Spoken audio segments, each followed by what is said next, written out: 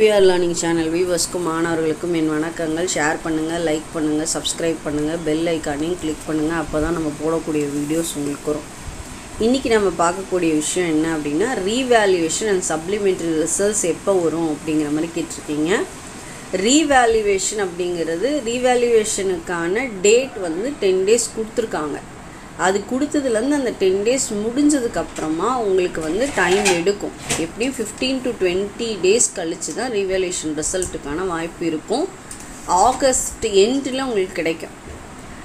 Supplementary வந்து August எண்டில் இருந்து செப்டம்பர் ஃபஸ்ட் வீக்கில் தான் சப்ளிமெண்ட்ரி வர்றதுக்கான வாய்ப்புகள் அதிகம் இருக்கும். சப்ளிமெண்ட்ரி பற்றி நீங்கள் ஏற்கனவே கேட்டிருக்கீங்க. சப்ளிமெண்ட்ரி அப்படிங்கிறது மேம் க டூ தௌசண்ட் நைன்டீன் டுவெண்ட்டியில் நான் எழுதியிருக்கேன். எனக்கு வந்து நான் வந்து சப்ளிமெண்ட்ரி எழுத முடியுமான்னு கேட்டிங்கன்னா கண்டிப்பாக எழுத முடியாது. இப்போ கரண்ட் இயரில் ஃபைனல் இயர் யார் முடிச்சிருக்காங்களோ அவங்க மட்டும்தான் சப்ளிமெண்ட்ரி எழுத முடியும்.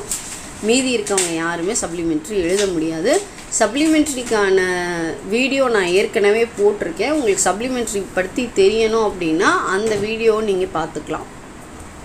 ரீவேல்யூவேஷன் ரிசல்ட்டும் சப்ளிமெண்ட்ரி ரிசல்ட்டும் ஒரே டைம் வருமா அப்படின்னு கேட்டிங்க அப்படின்னா ரீவேல்யூவேஷன் ரிசல்ட் கொஞ்சம் முன்னால் வரத்துக்கும் சான்சஸ் இருக்கும் பின்னால் வரத்துக்கும் சான்சஸ் இருக்கும். எப்படி வேணால் வரலாம் அது சொல்ல முடியாது.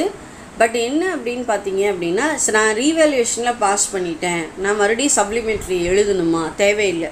நீங்கள் ரீவேல்யூவேஷன் எழுதிட்டிங்கன்னா ரீவேல்யூவேஷன் மார்க் ஷீட் பாஸ்ன்னு வந்துருச்சு அப்படின்னாவே நீங்கள் சப்ளிமெண்ட்ரி எக்ஸாம் அப்ளை பண்ணியிருந்தீங்கனாலும் நீங்கள் எக்ஸாம் எழுத வேணாம். உங்களுக்கு மார்க் ஸ்டேட்மெண்ட் தனியாக தான் வரும்.